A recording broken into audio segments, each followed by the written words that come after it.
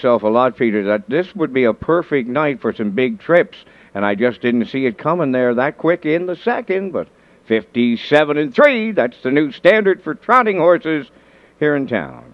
Third race coming to a start, off stride at the rail, that is Woodmere Violator. And there they go, off and pacing. Regalistic coming from the far outside. Along the rail, that is How Max Liberty gonna lead them to the turn. Pacing up into third on the outside, that is Ma Jacoby. Now fourth on the rail is I'm Driven. Outside fifth is Rockin' Elvis.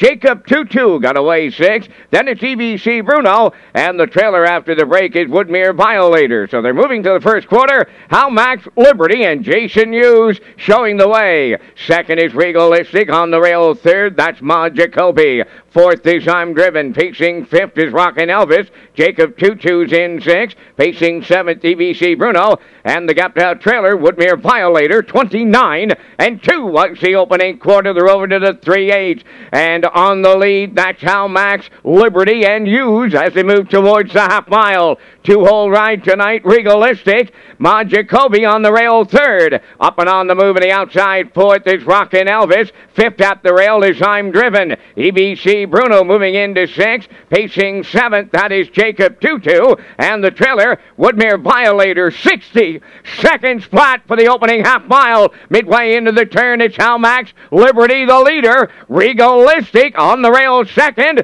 Ma Jacoby continuing third. I'm driven fourth at the rail. Stalling fifth on the outside. That's Rockin' Elvis. Sixth at the rail is EBC Bruno. Then in seventh, Jacob Tutu. Woodmere Violator of the trailer. Less than a quarter of a mile to go. And it's Hal Max Liberty on top. From the outside, Ma now second. Third up the rail, Regalistic. Three quarters up in 130 until they get set to turn for home. How Max Liberty trying to close it out. Ma Jacoby on the outside, coming right with them late. Regalistic third, I'm driven fourth. Deep in the stretch now. Ma Jacoby on the outside. Ma Jacoby got there for Brian McPhee.